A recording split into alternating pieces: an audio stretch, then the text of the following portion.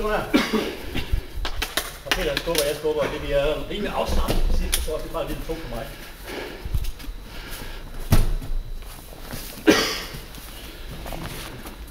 Peter han skubber på mig, ja. Jeg kommer over den der vej. Og jeg holder ham bare heroppe, så vi laver en rundt. Så det er højre mod højre, den der vej. Det jeg så gør, det er at gå ind bag Peter, ligesom vi går før, og cirkler bagom. Den der vej. Gå i bag ved Peter. Så skal hånden her også lave noget. Så den går, går frem, så går hånden over, og så falder op på oven.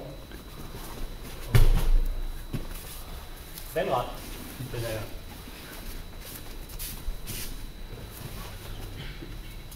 Gå ind bagved. Hånden går op på oven, nedad.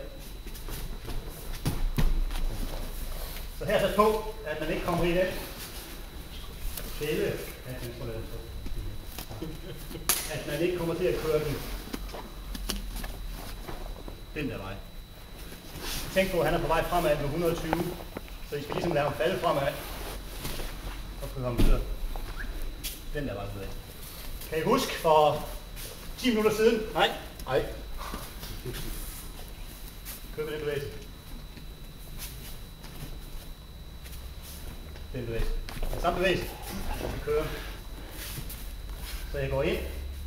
Den der vej. Og det har ham faldet igennem, og så armen med. Den der vej. Cirkulært. Ned mod mig selv. Okay? Ja.